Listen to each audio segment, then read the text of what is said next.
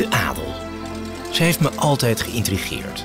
Een wereld die zich ogenschijnlijk in statige huizen vol taaie tradities verschuilt voor de oprukkende tijd.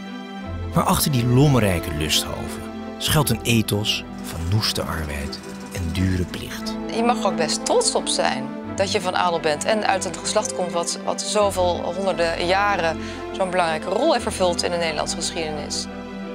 Ja, het is wel bijzonder dat je terug kan gaan in je, in je familie meer dan duizend jaar.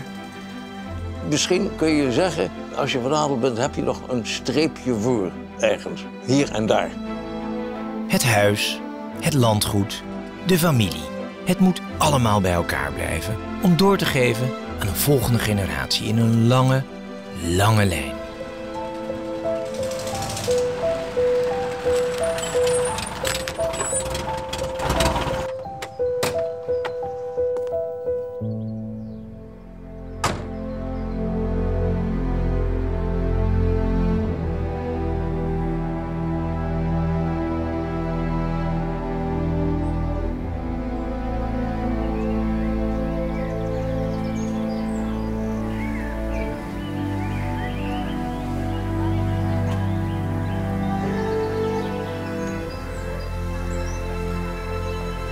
Got it?